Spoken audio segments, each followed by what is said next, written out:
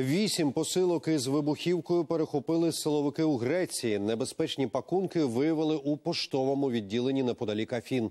За інформацією поліції, відправлення були адресовані посадовцям в установах та компаніях Євросоюзу. Також поліція поінформувала, механізми у посилці аналогічні тим, що вибухнув е, тому, що вибухнув в офісі МВФ у Парижі 16 березня. Тоді співробітниця фонду отримала легкі травми. Припускають, що відправники це грецькі ліві екстремісти.